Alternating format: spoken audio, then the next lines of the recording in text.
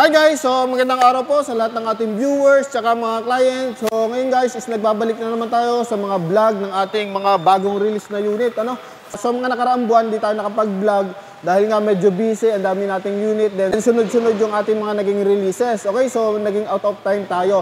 So ngayon guys is ang release natin is uh, ano na to, repeat order na natin to. Pangalawang unit na nila sa atin to. Okay, so last uh, last year kumuha na sila sa atin ng Suzuki Ertiga. So ngayon guys is natipuhan ulit nilang kumuha ng unit. So na-avail naman na nila sa atin is Suzuki XL7.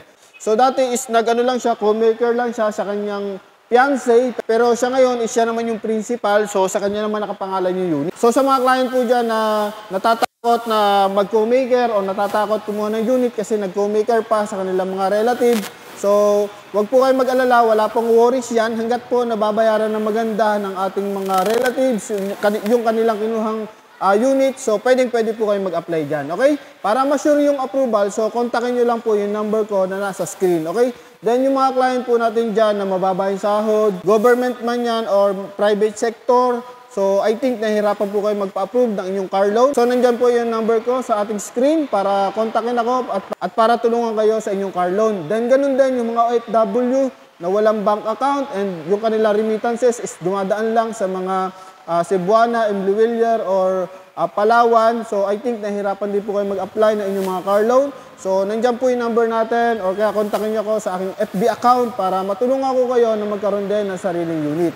Okay? So, maya-maya lang guys, is i-interview natin ng bahagya si Sir Jetro para sa kanilang bagong Suzuki XL7 and the same time para sa kanilang bagong unit. So, dalawang unit na na-release natin. So, sa mga client dyan na nahirapan magpa-approve. So, tumawag na kayo sa number natin na nasa screen o kaya mag-message na kayo sa ating FB account. So guys, ngayon is makakasama natin si uh, Sir Jetro Paraon para sa kanyang bagong XL7. Shout out Club Ertiga Philippines. So naka-Club Ertiga Philippines pa talaga si Sir. Kasi nga balak talaga nila is Suzuki Ertiga talaga yung kukuha nila. Ano? So yun nga lang, natipuhan nila yung Suzuki XL7 natin. Pero hindi naman masama kasi yung una nilang unit is Suzuki Ertiga na rin. Ano? Sir Jetro, bigyan mo naman kami ng konting ano, sir, uh, feedback about sa naging transaction natin for, per, uh, for ano, first unit tsaka sa second unit natin, sir. Yes, uh, napakalinis, napakabilis uh, ng transaction. Uh, wala akong masabi, no? napakaganda ng customer service. No? Uh, even after sales, uh, uh, very smooth ang ating transaction. Very good. Thank you very much po sa inyong naging feedback. Ano, so bale, uh, yung unang unit natin is na-release na natin ng plaka. So ito, eh, kasama ang palad kaperas nung release natin ng ano ng unang unit. So gagawin na lang natin, sorry request na lang tayo ng uh, ending plate para sa kanyang plaka nang sa ganon is uh, magkalayo naman ano hindi magsabay ng coding ano sir? Yes, sir. So thank you very much ulit sir and hoping na madagdagan pa yung unit natin by the next year. Ano po? Okay. Thank you, thank you, Ma'am uh, Myra and Sir Jetro. Thank you, sir. guys. Tuloy na to. Hindi na ko yung pipigilan. Sir, bali ngayon, bago na yung previous. Ano, hindi na siya yung dati. Early warning device, tapos merong uh, glass breaker na, sir. Ano? Hi, ma'am, mag-hi ka naman sa ating vlog. Patanggal na ng face mask.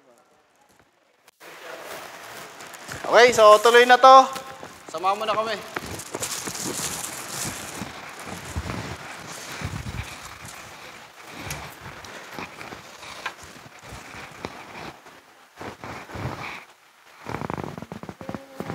Sir, isang susi na sa inyo na, sir? Okay, sir. Sir, lagay ko sa likod ha.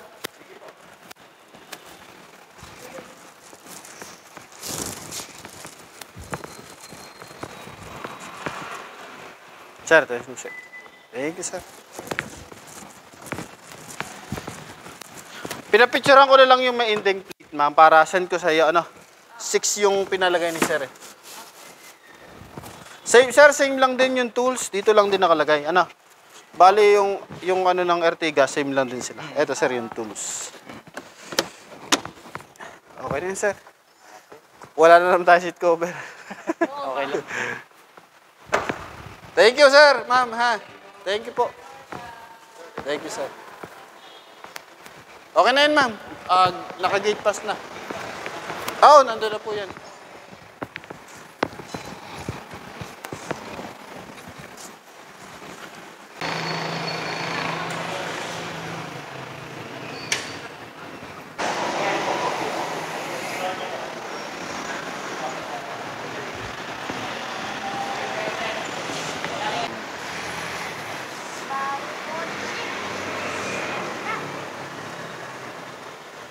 Sir, thank you very much. Ma'am, thank you. Ingat po. Sir, gas ha.